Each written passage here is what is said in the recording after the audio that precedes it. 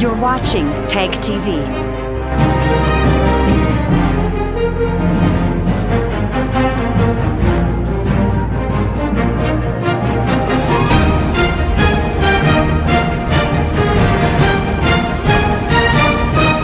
You're watching TAG TV.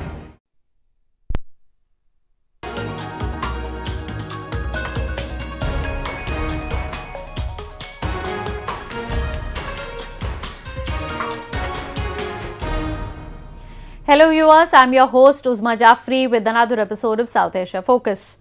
Let's begin the show with India which hosted the South Korean President Moon Jae-in in capital New Delhi.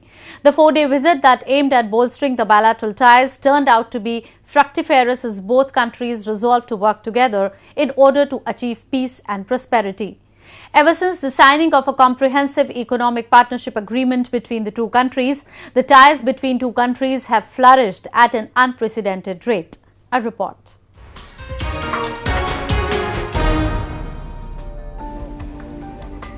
In a bid to further strengthen bilateral ties between India and South Korea and expand the ambit of engagements between the two countries, Korean President Moon Jae-in paid a four-day state visit to New Delhi.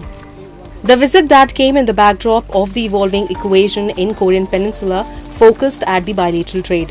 Both countries signed 11 agreements to expand business ties and more than double their mutual trade to 50 billion US dollar by 2030. The agreements signed between the countries included accelerating negotiations to upgrade a comprehensive economic partnership agreement signed in 2009, as well as expand cooperation in railways, healthcare, telecommunications, and cybersecurity. 현재 200억 불에서 500억 불 수준으로 대폭 확대해 나가기로 합의했습니다. 한편 한인도 포괄적 경제 동반자 협정에 대한 새로운 협상을 긍정적으로 평가하고 협상의 조속한 타결을 위해 노력하기로 합의했습니다. 셋째, 한반도와 남아시아 세계 평화와 안정을 위해 보다 긴밀히 협력하기로 했습니다. 나는 한반도의 항구적 평화 정착을 위한 Indian Prime Minister Narendra Modi credited Moon for his sustained efforts and attaining a breakthrough in long-standing hostility between South Korea and North Korea. Modi also offered Indian support in the peace talks. कि पूर्वोत्तर और दक्षिण Asia के proliferation links Bharat के लिए भी चिंता का विषय है। और इसलिए इस शांति प्रक्रिया की सफलता में भारत भी एक स्टेक होल्डर है। तनाव कम करने में जो भी सहयोग हो सकेगा, हम अवश्य करेंगे और इसलिए हमने अपने परामर्श और समन्वय की गति बढ़ाने का निर्णय लिया है कोरियाई प्रायद्वीप की शांति प्रक्रिया को गति देने का उसे ट्रैक पर रखने का और उसमें प्रगति का पूरा श्रेय राष्ट्रपति मून को जाता है Earlier, while delivering keynote speech at the India South Korea Business Forum, Moon underscored the extraordinary potential both countries possessed. He stressed on how India and Korea could lead the fourth industrial revolution if they worked together on their strengths. He assured that Korea would further cement its ties with India through a new southern policy that would work on creating a people-centered community of peace. 인도가 강한 세계적인 기초과학과 소프트웨어 기술, 한국이 강한 응용 기술과 하드웨어가 서로 만나면 양국이 4차 산업혁명 시대를 함께 주도해 나갈 수 있을 것입니다. 역동적으로 발전하는 인도와 미래를 함께 하겠다는 저와 대한민국의 의지입니다. 한국은 인도의 메이크 인 인디아 정책에 적극적으로 기여할 것입니다. 현재 500여 개의 한국 기업이 인도의 진출에 투자를 늘리고 좋은 일자리를 제공하고 있습니다. 그동안 자동차, 전자, 섬유가 중심이었지만 앞으로 조선, 의료기기, 식품 가공 등 다양한 분야로 확대해 나갈 것입니다. 또한 인도 정부가 추진하는 스마트시티 100개 건설, 주요 도시 간 산업 회랑 건설 같은 대규모 인프라 사업에도 참가하길 희망합니다. Earlier, Moon and Modi jointly inaugurated the world's largest mobile factory in the Indian city of Noida, situated on the outskirts of capital New Delhi. The facility that was opened in the line of Prime Minister Narendra Modi's Make in India project will allow Samsung to make phones at a lower cost due to its scale when other phone making hubs such as China are getting more expensive. इस नई unit के लिए Samsung की पूरी team को बहुत बहुत बधाई देता हूँ शुभकामनाएँ देता हूँ साथियों भारत को मैन्युफैक्चरिंग का वैश्विक हब बनाने की दिशा में आज का ये अवसर बहुत ही विशेष है। पाँच हज़ार करोड़ रुपए का ये निवेश न सिर्फ़ सैमसंग के भारत में व्यापारिक रिश्तों को मज़बूत बनाएगा, बल्कि भारत और कोरिया के संबंधों के लिए भी अहम सिद्ध होगा। Samsung is investing more than $700 million over three years to expand the factory's capacity. It will allow the South Korean firm to nearly double the number of smartphones it makes in India every year from 68 million to 120 million by 2020.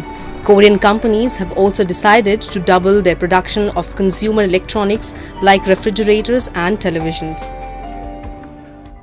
Moving on. In a shocking revelation, Zafar Bangash, a Pakistan-born Canadian Islamist, has revealed on how the United Nations High Commissioner for Human Rights was influenced externally to present India in bad light.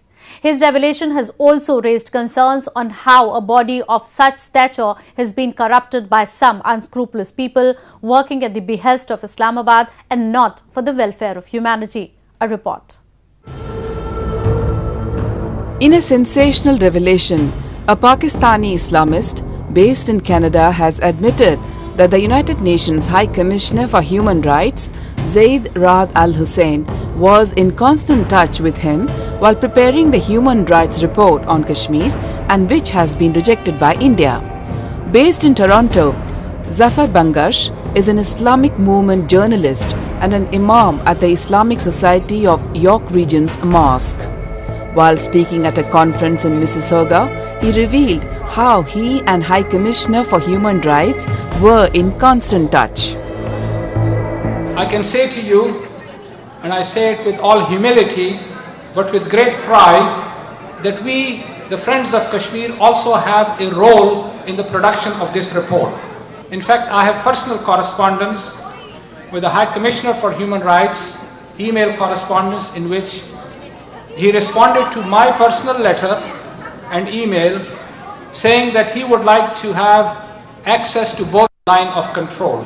That means in Azad Kashmir as well as in Indian occupied Kashmir. He also confessed about lobbying and consultation with officials in Islamabad. I responded to him after speaking to the Foreign Office spokesman in Pakistan, Mr. Nafees Zakaria, whom I'm sure many of you know, used to be the Consul General here in Toronto. And he assured me that Pakistan would welcome the UN High Commissioner or their representatives to come to Pakistan and they will facilitate their visit to Azad Kashmir. President of Pakistan occupied Kashmir, Sardar Masood Khan, who was also present at the event, asserted on how India should not engage in nuclear war with Pakistan. Must take steps towards averting a war between India and Pakistan on the issue of Jammu and Kashmir, which has been called a long festering sore by Mr. Ken Stone. We should avoid a war because if there is a nuclear war in South Asia, it would be Armageddon.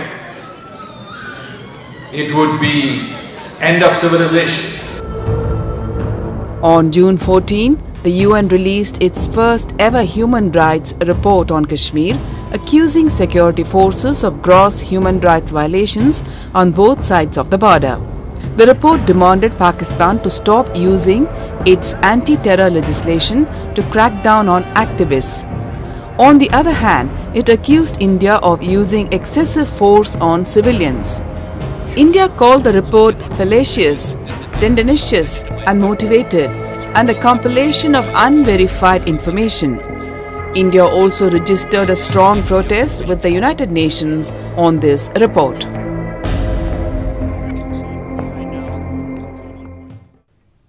Moving on to Pakistan, where the political situation has been growing increasingly volatile with some unknown forces unleashing a reign of terror just before the elections. In a span of just hours, two blasts aimed at disrupting the pre-election process and damaging the morale of the electorate have posed serious questions before the authorities who have repeatedly assured the people of the safe and secure elections. We have a report.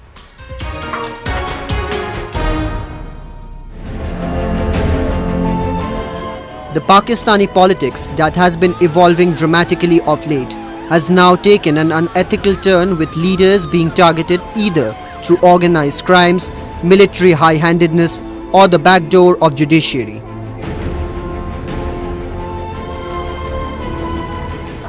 Few days back, a suicide bomber blew himself at an election rally and succeeded in his attempts of killing the top leader of the Awami National Party. ANP was apparently targeted for its anti-fanatic views and its persistent position against the fanaticism of Taliban. Such attacks, however, have taken a heavy toll on the lives of civilians. छोटा corner meeting थी तो उसमें ये incident हुआ है जिसमें अभी तक की इतलाम के मुताबिक 12 लोग शहीद हुए हैं और 32-34 ज़ख्मी हैं मुश्किल लम्हा है Later, the number of casualties spiked to almost double as many of the injured succumbed to their injuries in the hospital. Meanwhile, the National Accountability Bureau, which had earlier found former Prime Minister Nawaz Sharif guilty of unlawful overseas financial dealings, sentenced him 10 years of imprisonment. The verdict that has been questioned by many for its timing has also sentenced Sharif's daughter and his son-in-law to lengthy terms in prison. Experts across the political spectrum believe that the deep state of the army has been instrumental in giving the shape to the present run-up to the elections. They have repeatedly accused the army of rigging the elections beforehand. There are also accusations that Imran Khan, who is running for the prime ministerial position this year, is the favorite of the generals sitting in Rawalpindi and has got their support. However, he has vehemently denied all charges saying that all the opposition parties have converged and is attacking him for he was the favorite to win the polls. Public is demanding accountability of corrupt uh, uh, leaders of, of political parties. Now each time there is an attempt to hold them accountable, they all get together and start saying it's anti-democratic. And in this case, they are saying it's people rigging. He also asserted that he was confident of becoming the next Prime Minister of the country. Quietly confident that this time we'll do it. It's the best prepared my party has been uh, in terms of we've got good candidates and then we have a good manifesto. So I feel, uh, you know, we are prepared. But then, you know, we can only try our best. Uh, I'm, I'm, I'm hopeful, I'm confident, but still, you know, the match is not over until the last ball is bowled.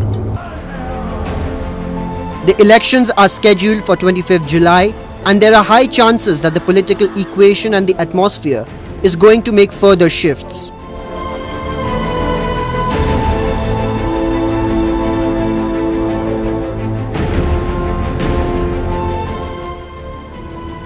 The internal security that has been hit hard by the repeated attacks by fringes poses the biggest challenge to the government. The situation is really tensed in the country. We have retired Brigadier Hemant Mahajan, a political cum defense expert with us, who has closely been following the developments in Pakistan.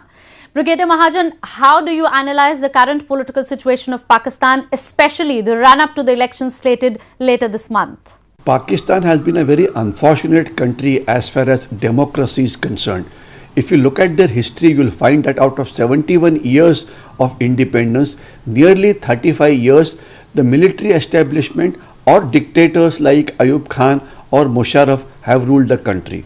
And not only that, in the remaining year, when uh, democratically elected parties were ruling, there have been a very large number of prime ministers, as many as 22 uh, people have become prime ministers. There has never been a stable uh, democracy in pa uh, Pakistan. There has never been any political party which has been able to rule the complete, uh, country completely for five years, the mandate for which it was elected. And always the Pakistani army and ISI have interfered into Pakistan politics. There are accusations that army establishments has been engineering the elections beforehand so as to give benefits to its own favorite. How do you see this? Pakistani army has always interfered in Pakistan politics. They have supported Pakistani parties which were pro uh, Pakistani army by giving them funds from ISI. Uh, these things are, on, uh, are, are always on record. And not only this, this time something very strange has happened. The Pakistani Election Commission has said all the polling booths in Pakistan on the day of elections will be manned by the Pakistani army. Do you think Pakistan after elections will make any significant amendment in its foreign policy or internal policies that have by and large supported terrorism? As far as Pakistan is concerned, it is unlikely to change in the near future of one year to five years because Pakistan's complete existence is based on anti-India. They do not have any economic policy, they do not have any worthwhile policy, they are obsessed with Kashmir. So their entire focus, energy and uh, uh, national, uh, uh, uh let's say cooperation is against uh, India. So therefore, this is not likely to change in the near terms.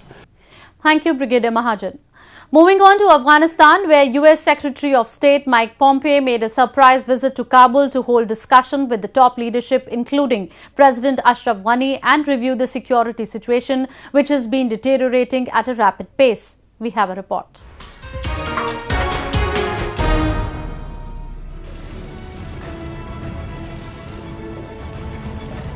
In a surprise visit to the war-torn country of Afghanistan, US Secretary of State Mike Pompeo called on political brass led by President Ashraf Ghani to review and discuss the prevailing security situation. Pompeo, the messenger of the US President Donald Trump's message of peace, asserted that his country wanted a peaceful reconciliation of years of hostile relationship between Kabul and the Taliban.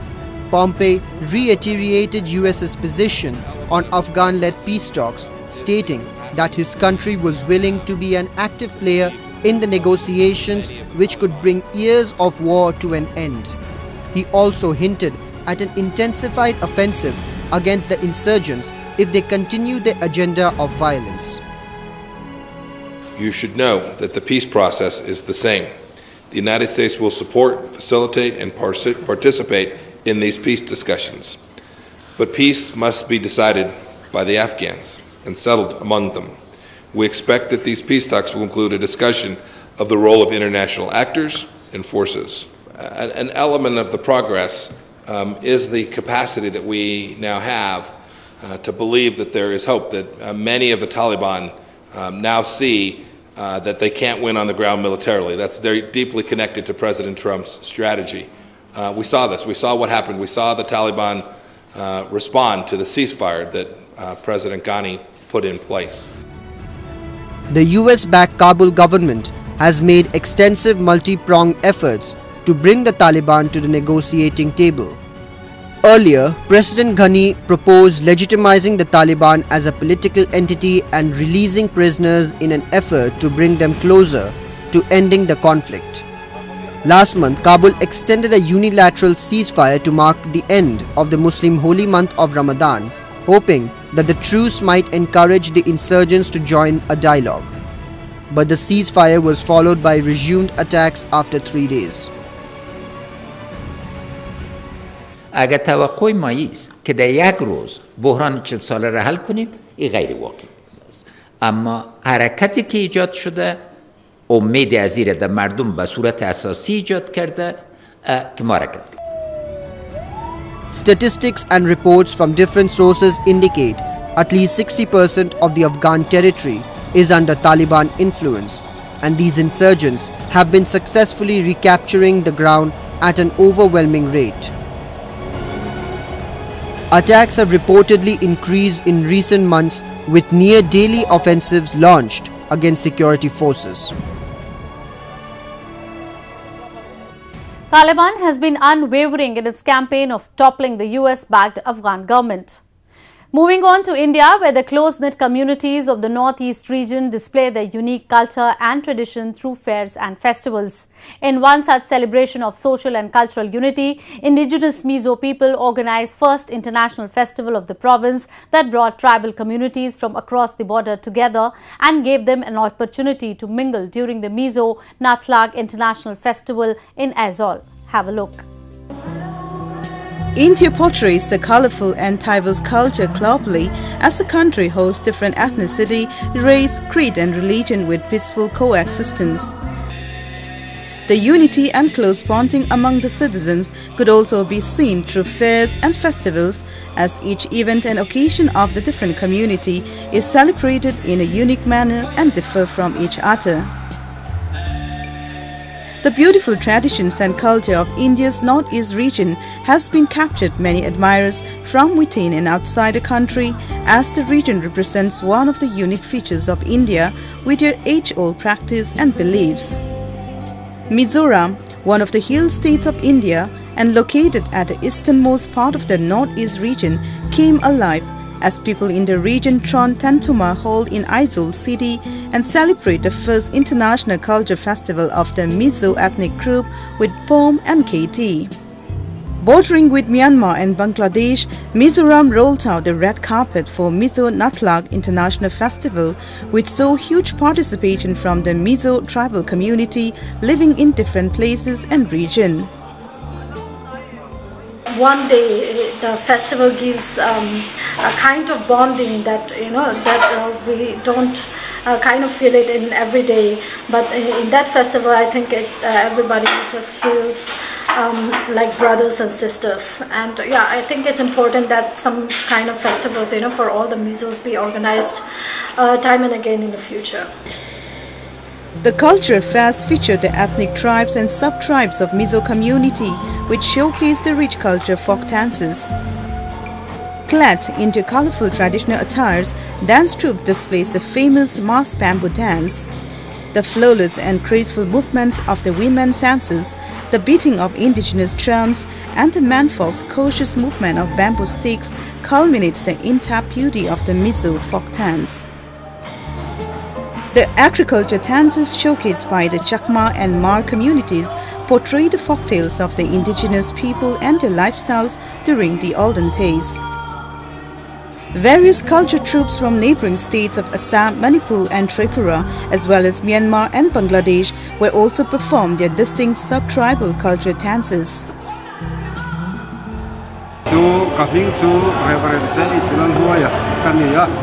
lian mara tanga lokal kan di hei helaya jibili dan siang dalam na hian ro pui kan tia kan nok tak lewa ki ko kan in na na sa a than be The festival aimed at uniting the Mizo ethnic community socially and culturally under a single platform, though physically the community is scattered in various places. The Mizo community is one of the indigenous tribal ethnic groups of India and this close-knit community is well known for their bravery and systematic lifestyles since the time immemorial.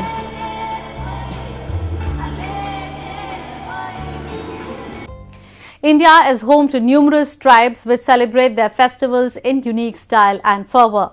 With that, we come to the end of this week's episode. See you next week. Goodbye and take care.